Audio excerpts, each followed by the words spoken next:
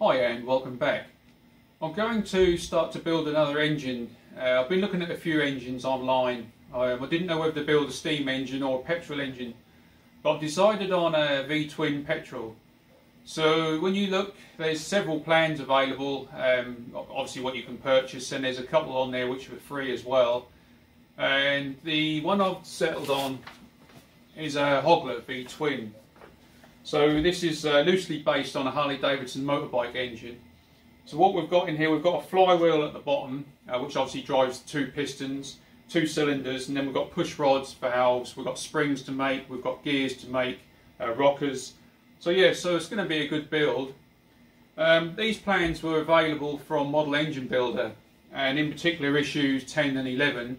Uh, they were free uh, issued or freely issued with those two uh, magazines. You can download those um, for a small fee as a digital download. Um, it cost me around about six dollars each. Uh, that's New Zealand dollars um, for each issue, so cheap enough. So anyway, so what we're going to start with, we're going to start with the crankcase. Um, the crankcase is made out of aluminium plate. Um, uh, what, that was either going to be a choice of uh, cutting that on this on the mill machine or program the CNC to do that. So I've settled for the CNC, uh, so that's all ready to roll.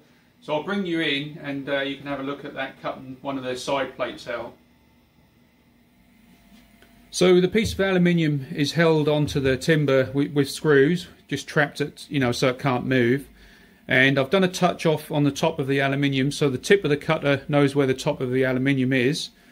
So we'll get the CNC running and we'll start to cut that side plate out.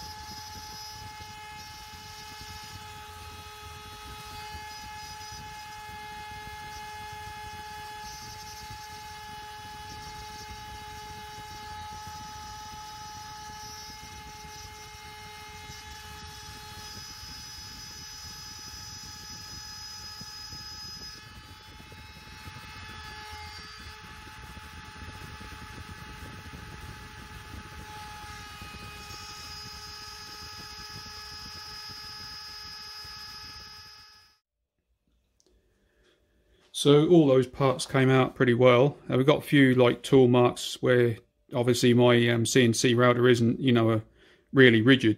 So we're still going to get a few tool marks around there, but we can, um, you know, obviously file those off at a later date.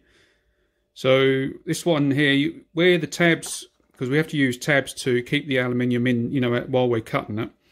So um, where it comes across those tabs when it's cutting, we get a bit of tool deflection so on these pieces, it didn't really matter so much because I had two on the bottom. You can see them there, and then um, one on the, each one of the um, tops.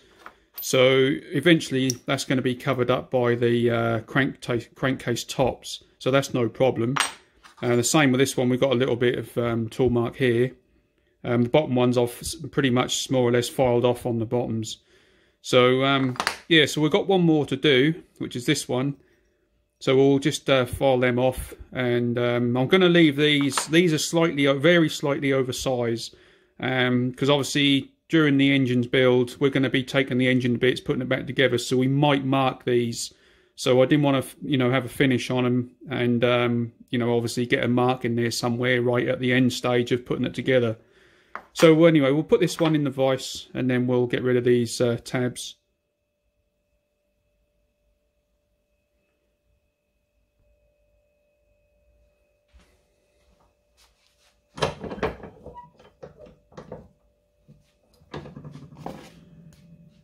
So we'll just use quite a rough file just to get rid of the worst of it. And then um, we'll work down till we get to a real smart, uh, real smooth file.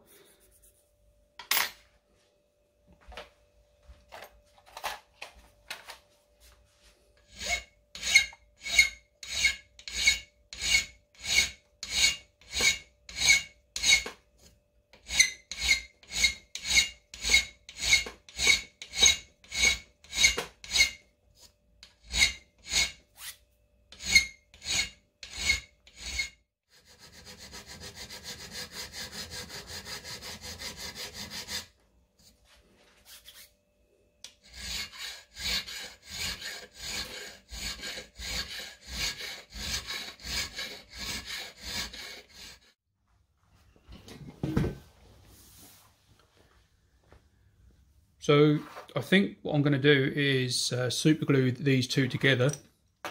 And that way when we start to we've got to drill eight holes in here and we've got four to hold the cylinder head on and then obviously four fixings to hold these onto the crankcase sides.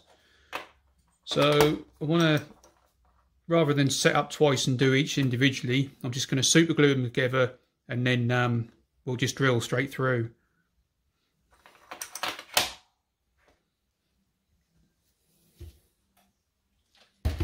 So I'll just wipe these with a piece of a bit of acetone. Just get rid of the grease and the oil off there.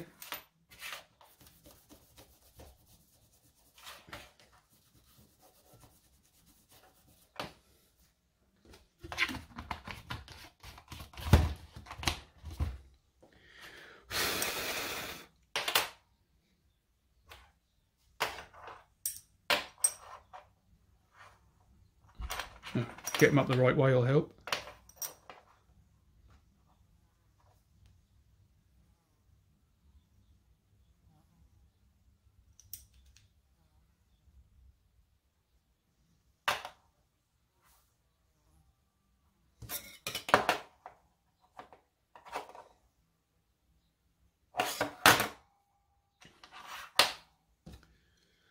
And this is just normal super glue, nothing special.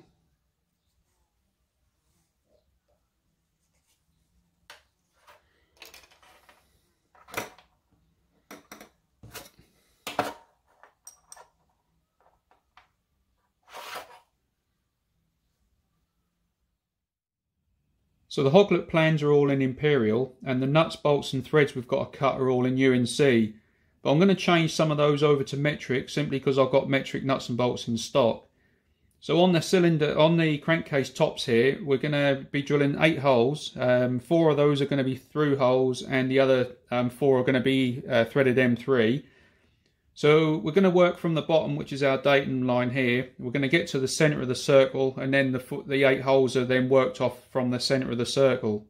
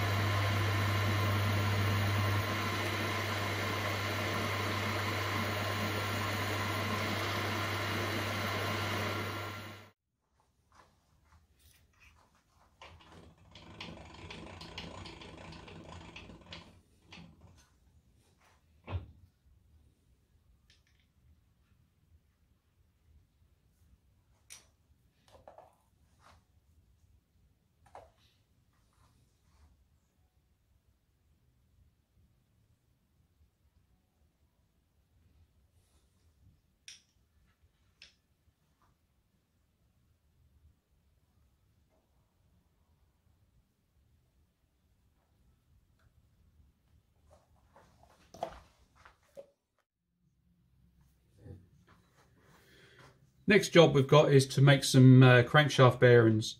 So I'm going to make those out of brass. Um, the engine isn't going to be run a huge amount, so I don't really need, I mean the plans call for bearing bronze, but I haven't got any of that.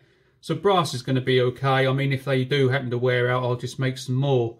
But, you know, it'd be different if I was running the engine that shows, you know, where it's running hours on end. I would def definitely make them out of bronze then.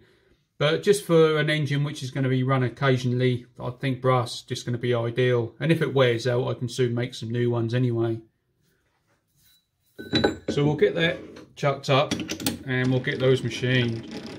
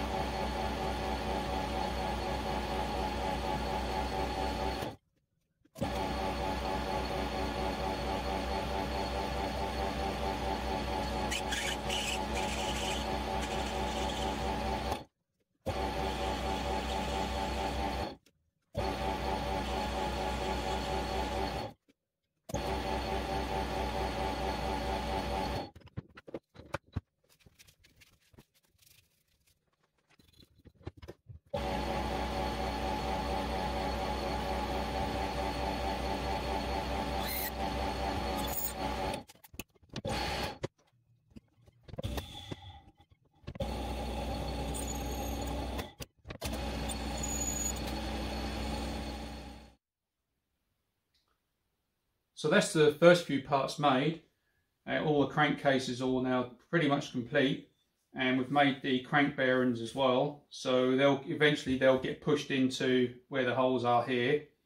Um, I haven't put those in yet because um, I'm using metric aluminium which is uh, six millimeters you know thick whereas on the plans it's quarter inch uh, being imperial. But um, that makes a difference when I come to obviously put the engine together finally I'll have a bit more distance in here to make up because I don't know what the crank end float is. So until I know that, I'm not going to press these in. Uh, when the, when the engine is finished, I'll then work out you know what I need, and then I may just have to just skim these. Um, I've made them slightly wider, so I'll just have to skim those before we press them in. Anyway, so that's it on this video. Uh, next video, I'll probably have a look at the crank pins. Um, I haven't made my mind up yet, but anyway, we'll see you in the next video. Please like and subscribe and we'll see you soon.